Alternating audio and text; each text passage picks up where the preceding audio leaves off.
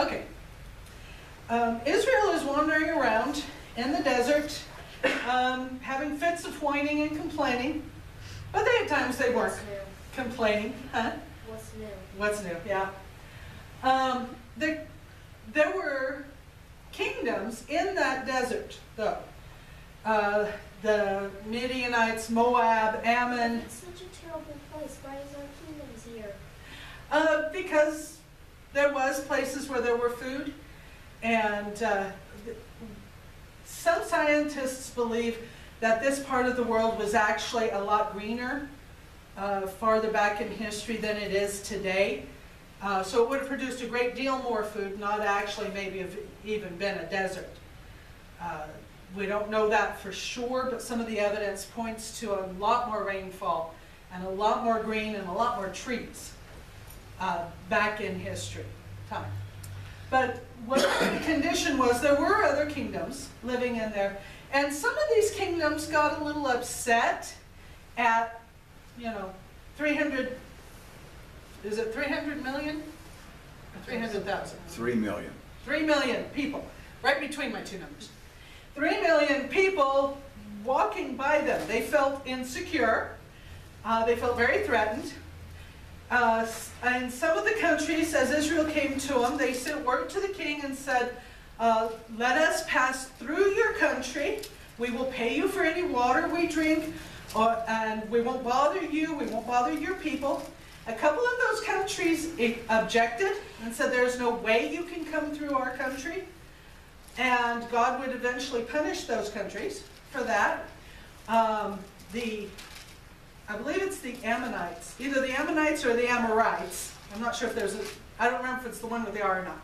Um, they were so upset at Israel, they came out and attacked them. And Israel, with God's help, beat them. But one of the kings, a king named Balak, um, really, really wasn't happy about Israel being near his people. So he sent some of his men to a man named Balaam, who was known to be able to curse people and bless people. And that if he cursed them, bad things happened. And if he blessed them, good things happened. Would, Usually how curses and blessings. that's how curses and blessings work. And God does listen to the things that comes out of our mouths. And so he sent word to Balaam, and he said, "Would you? There's this group of people. These there's there's millions of them, and they're passing my country, and I'm afraid of them. I want you to come and curse them for me." So Balaam told the guys, "Well, you can spend the night over there. I'm going to pray about it." He prayed about it. God told him, "Don't you dare." He went and he told the guys, "I don't dare," and they went back to their king. So Balak sent more important officials to them, said, Come curse these people. Balaam prayed about it. God said, Uh uh He told the guys, Uh uh They went back. Sometimes consistent God. God is consistent.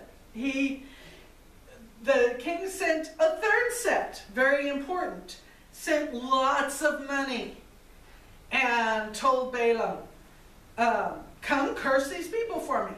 And Balaam said, okay. This time he decided he'd go curse them. So Balaam went with the guys and he got on his donkey. And he was riding along on his donkey, and the donkey suddenly stopped. Well, he hit the donkey. Why are you stopping? Move, move, let's go. So the donkey started walking again, and then he hit the donkey again. And she swing, swung aside, or she stopped again. Even swung aside and crushed his foot against a uh, wall he was walking, they were walking by. He beat her again. Flannel we forgot to get out. um, she started walking again, and then she stopped again.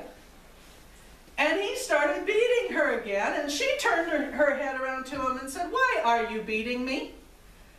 I've been your donkey for many years. I have never stopped before on the road. Why are you treating me this way? And at that point, God opened Balaam's eyes, and standing in front of him was an angel with a sword. And the angel told him, if your donkey hadn't have stopped, I'd have killed you. I wouldn't have bothered her. She's, she's innocent. But I'd have killed you if she hadn't stopped. And Balaam said, okay, you want me to go back, right? and the angel said, no.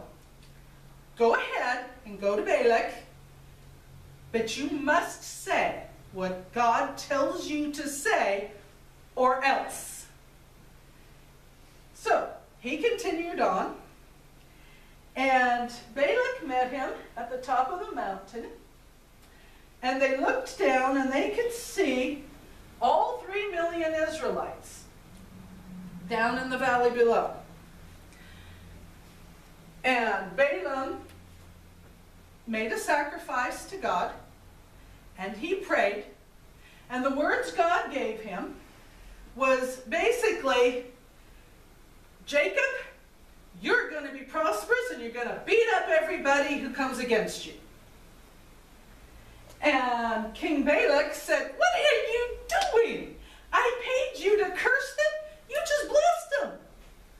And Balaam said, I told you I can only say what God wants me to say. That's what God wants me to say. Balak said, Well, come around over here where you get a different view of them, and you can curse them from there. So he went around and he looked at the different. You think this is gonna go? yeah, he looked at it from a different angle and uh, he made a sacrifice and he prayed and he came back and he said, Jacob's going to be rich and beat up all their enemies. And ba- Balak said, No, that's not right. That's not what I paid you to do. Come over here where you can only see a little bitty of them and at least curse that part. Balaam came over and he didn't even bother praying this time. He just started blessing Jacob, blessing the, the children of Israel. Um, and Balak was very upset.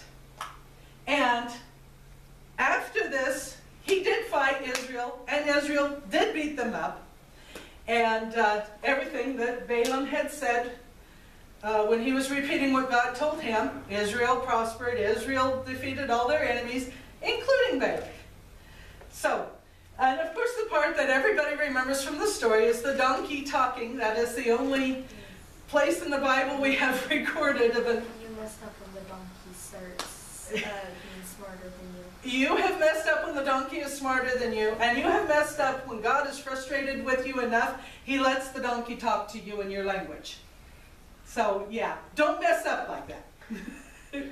um, today is Easter, uh, and um, though we didn't have an Easter story today for our lesson, I did want to remind everyone what my favorite Easter egg is.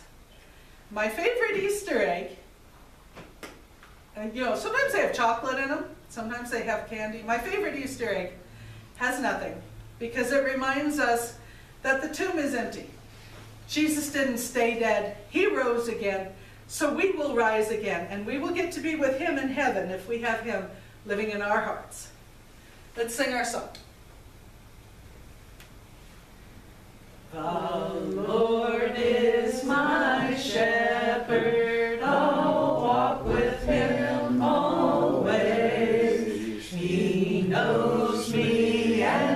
love.